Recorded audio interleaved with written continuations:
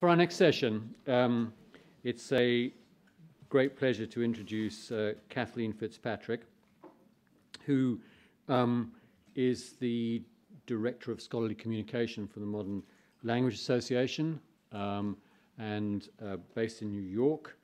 Um, and um, she's going to talk to us about peer review and quality, uh, which is um, something, again, that's been running uh, uh, through the day. Um, Kathleen has, has, had a great build-up right from the start, of course, with Jean-Claude uh, in, the very first keynote, anticipating her talk earlier, earlier on. Um, it's been a particular pleasure for me to meet her because some of you will know her book, uh, Planned Obsolescence, which is a great book. Um, it's a great book not only in terms of, um, I think anyway, not only in terms of um, uh, scholarly publishing in the humanities and social sciences, about which it has a lot of very interesting things to say. But it's also a great book, for me anyway, about the future of universities uh, and, and what they are and what they should be. And it's a book, I think, that actually should be read by university administrators as well as people who are concerned uh, with um, publishing, because it returns us to the principle of universities as public benefit organizations that play a critical role in knowledge creation and dissemination. So um, uh, uh, uh, Kathleen's going to talk to us now um, on the topic um, of peer review and quality. Thank you very much. Not being six foot two, I'm going to attempt to adjust this. Is that good in the back? Okay.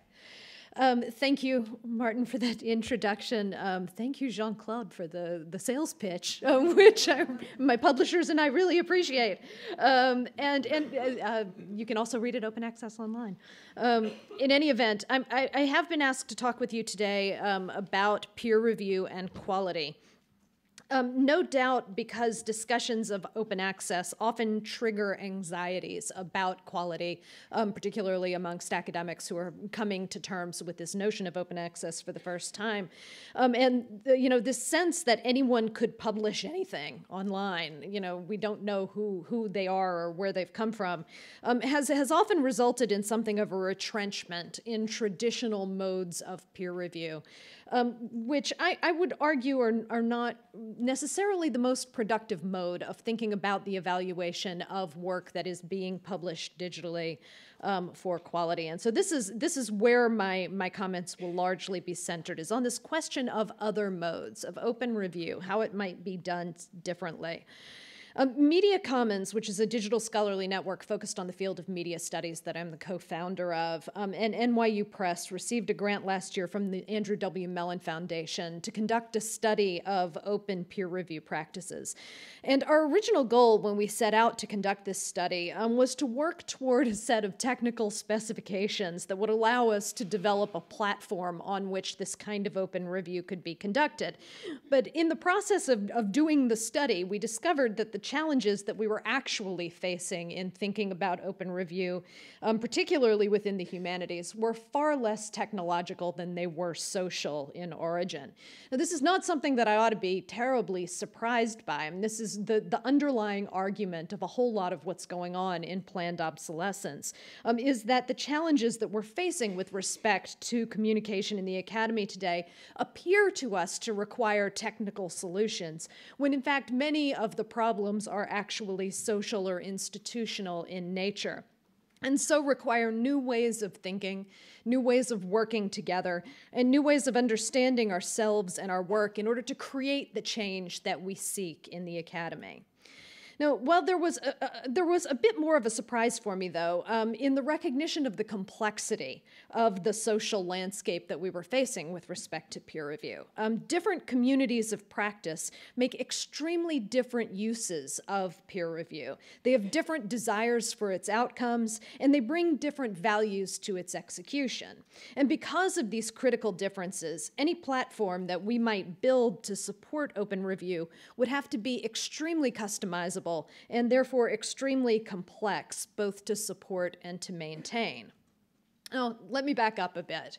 Um, the Media Commons NYU Press Open Review Study was conducted by a stellar advisory group um, composed of established scholars from a range of disciplines in the humanities in the U.S., um, with a range, um, I'm sorry, with a, a many different investments in peer review, um, from outright advocacy for these new open modes to deep, deep skepticism.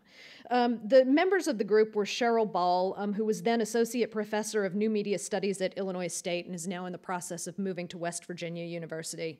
Um, Dan Cohen, who was then associate professor of history and director of the Roy Rosenzweig Center for History and New Media at George Mason, and is now the director of the Digital Public Library of America. Cathy Davidson, the Ruth F. DeVarney Professor of English at Duke. Um, Lisa Gitelman, Professor of Media and English at NYU, Nick Mirzoeff, Professor of Media Culture and Communication at NYU, and Sidonie Smith, Professor of English and Women's Studies at Michigan, and now the Director of the Humanities Institute there. Um, the meetings were further facilitated by the grant leads, who were me, um, my, my Media Commons co founder, Avi Santo, Eric Zinner, who's the editor in chief of NYU Press, and Monica McCormick, who is the NYU Digital Scholarly Publishing um, Officer. We began our conversations in this study intending to focus on the following issues. Um, the merits and pitfalls associated with open review, the desirability of open review for certain types of communities and works, the criteria and parameters needed to organize and conduct successful open reviews, the technological requirements for meeting open review criteria, and the technologies that were currently available that can help meet those requirements and criteria. But we also started by asking a number of contextualizing questions, um, which led our discussions in ways that we didn't always expect. The most central of these questions was what is peer review? I know this seems like a very simple question with a very simple answer, right? Peer review is the review of scholarship and other forms of scholarly activity by one's peers. Um, peer review plays a foundational role in the determination of scholarly authority, and it's relied upon in all of our major forms of assessment. Um, yet many scholars across many fields are today raising questions about peer review, right? About the purposes that it serves, about the degree to which those purposes, um, particularly with respect to new forms of digital scholarly communication, are actually being served as well as they might be. And how well is peer review working for us today? Um, peer review is meant to accomplish a number of different things. Um, for instance, it provides a means of critical feedback for scholars in the, in the process of developing their work. And it provides a means of selection among the work of many scholars for quality. Now, at times, um, peer review is meant to serve one or the other of those purposes, um, but most often it's meant to serve both right? Um, peer review is, in this sense, meant to represent and further the best of scholarly values as they should be espoused, right? Working rigorously to improve work, to determine the best work, and particularly in the case of double blind peer review, to do so in the absence of biases based in rank, gender, class, race, institutional affiliation, and so forth. However, a, a, fair bit of criticism has been levied at the existing peer review system, including concerns about the degree to which anonymous reviewers are granted power without responsibility, and the potential failures and, and some very recent quite public failures of reviewer and inter-reviewer reliability. Um, moreover, some scholars have begun exploring the ways that the notion of the peer is defined in these processes, asking whether there might not be a better way online. I mean, rather than limiting the category of the peer to credentialed scholars, and even further to scholars credentialed in a specific field or subfield, which is a narrow and usually vertical community organization in which junior members must prove their worth to those who precede them, resulting in a tendency tendency towards self replication. I mean, might we begin to understand the notion of the peer as one that's more horizontally organized, one that's based in affinity, and more importantly, in participation in community processes? Now, this is not to suggest that in the age of open networks, a peer is becoming just anyone, um, but rather to indicate that the status of peer might not predate participation in review processes. Instead, a scholar might have the potential to become a peer through the quality of their participation. As Peter Frishauf has noted, in this mode, peers can be selected on the basis of experience and trustworthiness, not credentials.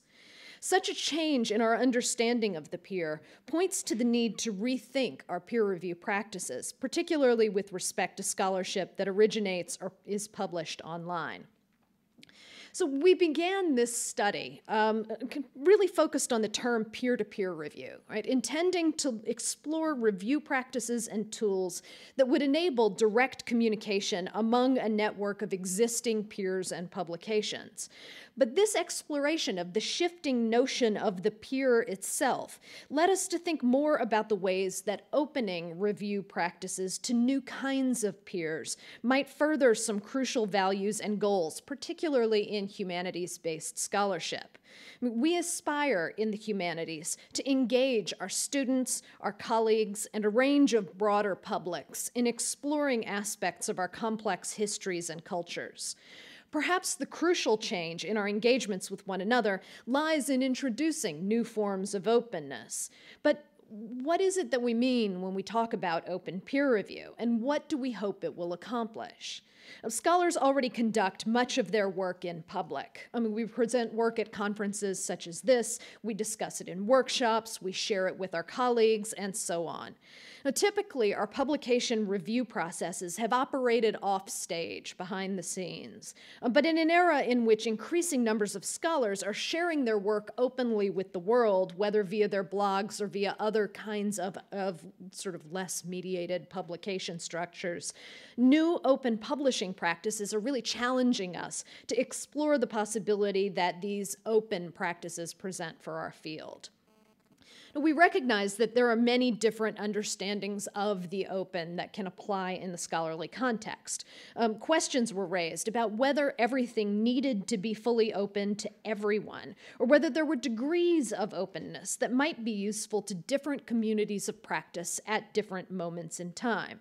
I mean, perhaps a frank discussion among a defined cluster of, of scholars would be particularly important at certain moments, while a discussion that was open to broader publics would be crucial at others. And perhaps we might imagine a review process that's open to volunteer participants, while nonetheless being conducted in private. Uh, processes like these might require reviews to appear under their author's real names, or there might be situations in which some degree of anonymity or pseudonymity remains useful to the process. Moreover, these two forms of openness, openness of access to the review process and openness of reviewer identity, are related, but they're not inseparable. So, in thinking about the different valences of openness, we looked at a range of existing experiments in the open review of humanities scholarship. Um, the Institute for the Future of the Book worked with McKenzie Wark back in 2006 to post the draft of his book, Gamer Theory, online in commentable form. Now, while this experiment was not explicitly part of a peer review process per se, it nonetheless raised substantive feedback, uh, much of it from the gaming community, um, someone that Harvard University Press would not ordinarily have reached out to, um, that Wark wound up employing in his revisions. The Institute generalized the platform that they had built for gamer theory into what is now CommentPress, a WordPress plugin that allows a long text to be discussed paragraph by paragraph. CommentPress was used in its very early stages by Cathy Davidson and David Theo Goldberg in the process of reviewing and revising their MacArthur report, The Future of Learning Institutions in a Digital Age, which went on to be published by, I was going to say Duke, I think it's actually MIT Press um, as well as uh, by Noah Wardrip Fruin, um, who was seeking feedback on his manuscript for expressive processing, which was definitely published by MIT Press. Um, both projects were greatly improved by the process, and comments from the open reviews influenced and were included in the revised final publications. Uh, more experiments such as these have been conducted by us at Media Commons Press, including the open review of my own planned obsolescence, as well as the two open review experiments that we conducted in collaboration with the journal Shakespeare Quarterly. Now, all of these texts were at the stage at which they would ordinarily have been submitted for traditional peer review. And in fact, my book was sent out for traditional review in addition to being opened for community discussion. And the, if there's time for questions, I would be happy to talk about what we learned from those two different forms. Um, while on the other hand, the Shakespeare Quarterly reviews took place as the central stage of a multi stage process, um, starting with some editorial pre selection and then ending with a final round of editorial board approval. Now, in all of these cases, the locally targeted threaded commenting facilitated by CommentPress, along with the underlying social features of WordPress, resulted in robust discussions that were aimed at helping the authors involved revise their work prior to final print publication. Moreover, the, the CommentPress format allowed reviewers and authors not simply to respond to the text, but to respond to one another as well. Um, and the authors have reported on the helpfulness of having that kind of social context within which to understand and interpret the reviewer comments.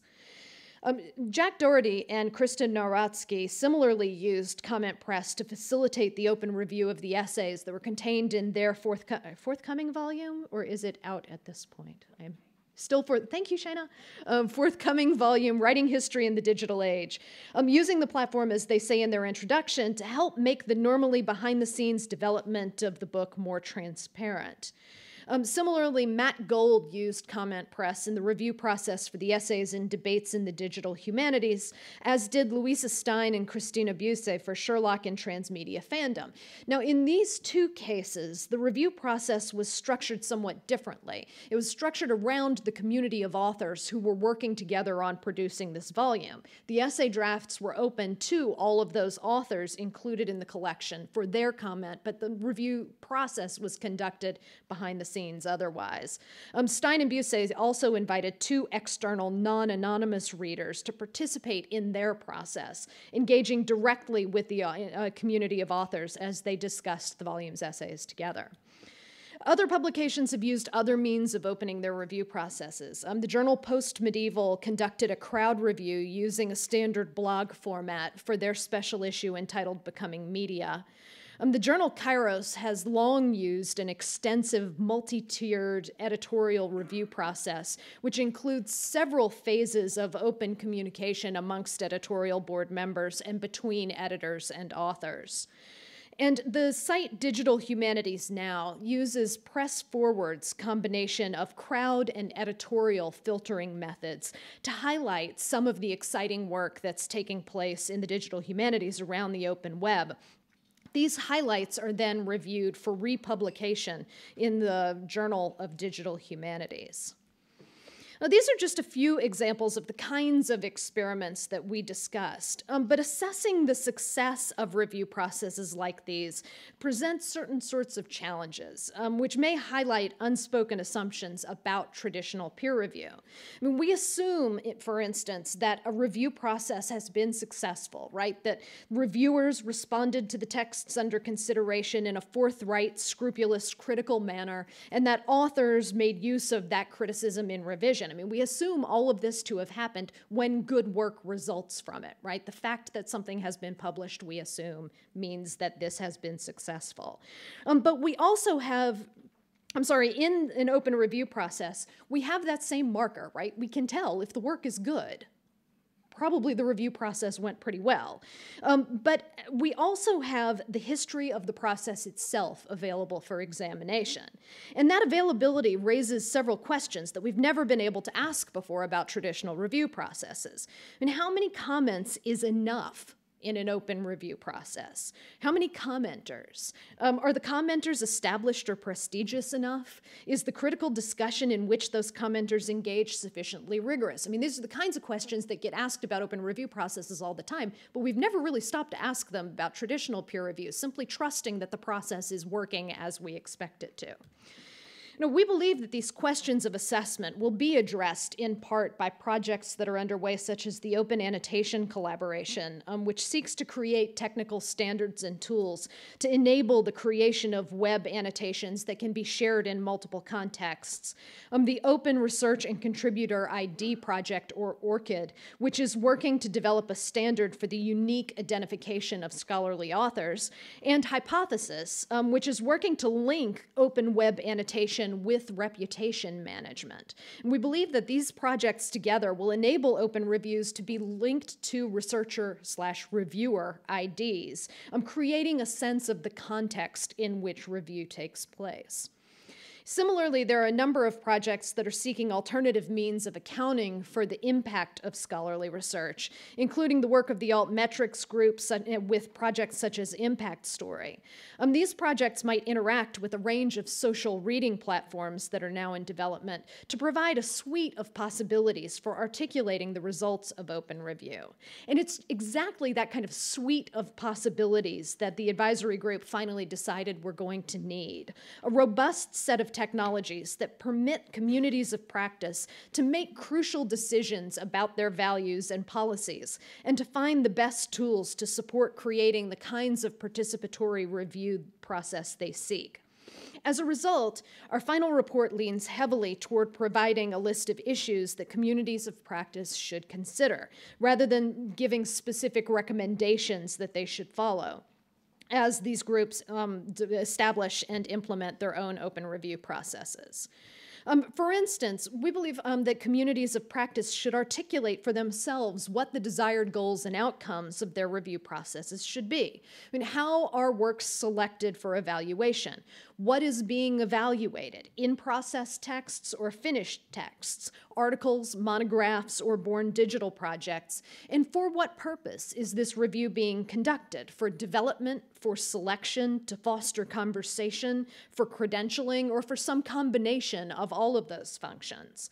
Um, what aspects of the work are to be evaluated and at what levels, from the sentence level through questions of organization and structure to basic project design, methodology, and significance for the field. And through what means is this review conducted? Is it commenting? Is it rating? Is it liking? Um, many of these questions seem obvious, and yet it's only in the prior determination of these standards that review committees, I'm sorry, review communities can really assess whether those goals have been met.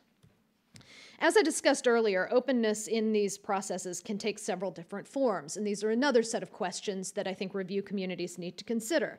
Options include public access to and participation in the review process, re removing the anonymity amongst authors and reviewers, and establishing a means of greater back and forth between authors and reviewers and amongst reviewers. Now, these options require careful consideration within communities of practice about the value of open representation of author and reviewer identities, the value of public participation, and the value of reciprocity in the review process. Extending the kinds of considerations with respect to openness, communities must similarly decide what the ground rules for collegial engagement are, their expectations for civility, reciprocity, and response.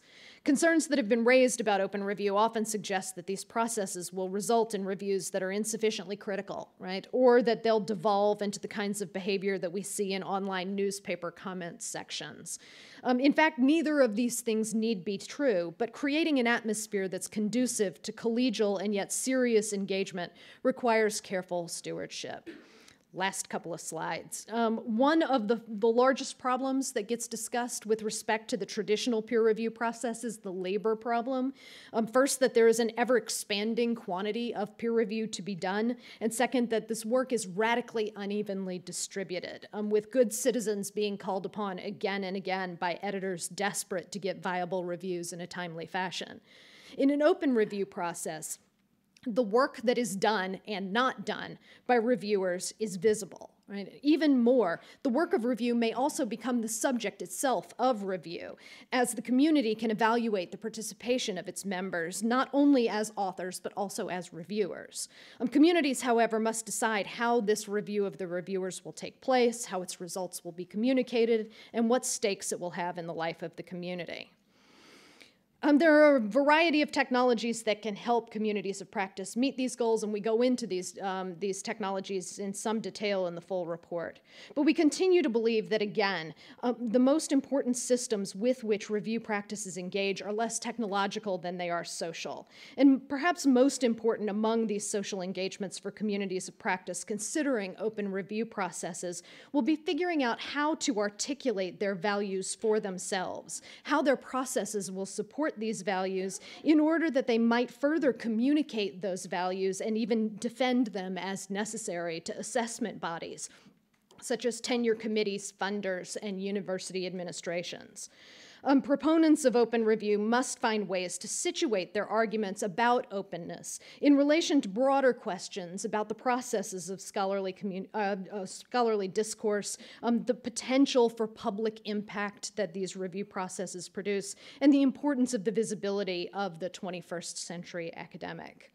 Now, I've only been able to scratch the surface of this project in this talk, but I believe strongly that our most important conclusion is this. Open review processes have a key role to play in modeling a conversational, collaborative discourse that not only harkens back to the humanities' long investment in critical dialogue as the essential core of intellectual labor, but also models a forward looking approach to scholarly production in a networked era. Open Review presents the possibility not only of getting traditional forms of scholarship into communication with broader audiences, but also of helping validate new kinds of scholarly output online. Making the process of assessment visible in a thoughtful and deliberate manner can only, we believe, help improve both the assessment and the work under evaluation. Thank you.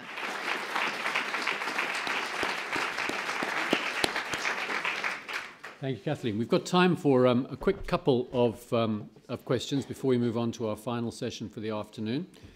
Any, any, um, anybody questions or comments for, for, for Kathleen?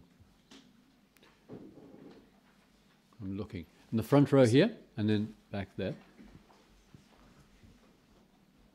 Oh, yep. there you go. That's all right. One of that. There you go.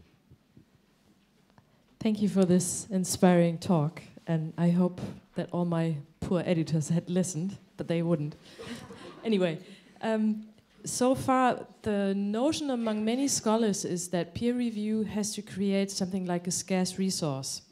And the, in a way, the, the contrary is true. There is a journal that's called Atmospherical Chemistry and Physics, and they have a rejection rate that's by now down to 10%, and they mainly claim that this is due to open peer review.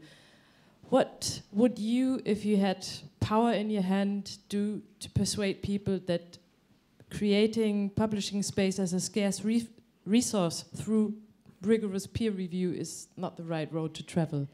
Um, this is an argument that I spend some time with in the book, and I'm really glad that you brought up atmospheric chemistry and physics because they're one of the examples that I gesture toward quite a lot. Um, what the editors there have have have um, argued is that in part their rejection rate has gone down as much as it has precisely because academics um, hold back on work that's not ready to be submitted until it is ready to be submitted when they know that the review is going to take place in the open.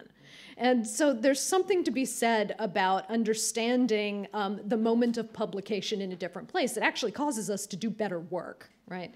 Um, that's one thing. The other thing is to say that you know there was a moment mm. when publishing was a scarce resource right? When when only so many pages in so many books and journals could be produced each year. But now in open networked publishing that reimposing an economy of scarcity via peer review on a model that should be as free and open as possible makes very little sense. It's completely counterintuitive to the way the network functions. And when that happens, we end up with what we're having now publications popping up outside of that fence like mushrooms that we have no idea how to cope with. We don't know how to evaluate them. We don't know how to treat them on our CVs. You know, is a scholarly blog a serious publication. This debate has been going on for 10 years now. We still don't know where it should be listed on the CV. And so we need a system that's flexible enough to deal with new kinds of publishing systems and structures without reimposing old models on top of what is a very, very new network of communication. Go ahead. Thank you for a great talk. Um, you kindly said that you might be able to say a little bit more about the different kinds of comments received on your own book from the two processes, and it would be really interesting just to hear a little bit more about that. Absolutely. I'll, I'll try to make this as brief as I can. Um, the, the open review had 45 commenters involved, 295 total comments left throughout the book, many of them responding to one another. Of those 295 comments, some subset is me responding to things and asking for clarification and so forth. And because of the paragraph by paragraph commenting system, um, those comments tend to drill down on specifics in the volume, right? They point and they say, here is where this problem is. And so they, they tend to be a bit more focused in that regard than do traditional reviews but far more important than that, I think, is the social context in which all of this happens. Um, I didn't ask reviewers to leave their names, but the vast majority of them chose to do so, or at least chose to use the handle that they use in other scholarly spaces online. So I knew who they were, and I knew how they talked about other kinds of things online. I had a context in which to place those reviews, and so I knew when my colleague Natalia Cecire commented on something saying, you really need to tighten this point up, I knew knew to take that point seriously because it was Natalia. I know what kind of reader she is, I know how she responds to things. Now, the two traditional reviews that I got were both phenomenally good. They were really, really strong, critical, thoughtful reviews. Um, it turns out that one of the two reviewers asked the editor to pass on her identity to me. And the other one, within the first paragraph, I had totally identified who that reviewer was because it was in a voice that I, I totally know, right? So hmm. those were not anonymous reviews either. And so I did have social context, but I, that, that was only sort of accidental that that happened. I wouldn't otherwise have had that. And I could have been left saying, you know, well, this, this reviewer thinks that chapter three's argument isn't as strong as it should be, but who is this reviewer? You know, why should I take that opinion seriously? As it turns out, I did because I knew who those reviewers were. Um, the other thing, though, is that those reviews tended to be a bit more holistic in nature, in part because um, you know that those reviewers will have read the entire manuscript and not have dipped in and read the, the chapter that they care about, and because they were specifically asked by the press questions like, are the chapters in the right order? Does the arc of the argument make logical sense? And so they dealt with those kinds of issues in a way that the, the online reviews didn't. They didn't have that same holistic perspective. Um, there are also places in the book, in online, in the online commenting, where um, like chapter four, the one that's the most technical, there are very, very few comments in that chapter. Um, and I have no idea, I have no way of reading that silence, right? I don't know if that means that everything is fine. I don't know if that means that everything is so embarrassingly bad that nobody wanted to comment on it, right? Um, so trying to figure that out is something that, that we still need to, do, to go some distance on. Traditional reviews, the reviewers are asked specifically to say, if everything is fine, say chapter four is totally fine. Right? And so figuring out how to, to develop an open review system that gets the best of both of those systems um, in, into an open network space, I think is really important. Kathleen, thank you. I think that um, in, in, in, a, in, a, very neatly symmetrical way, Kathleen's talk, talk has taken us uh, right back to the points about the sociology of publishing that Jean-Claude mentioned first of all in his opening talk this morning and demonstrated that uh, very profoundly in her, in her comments on the peer review system. So thank you so much thank for that. Thank you.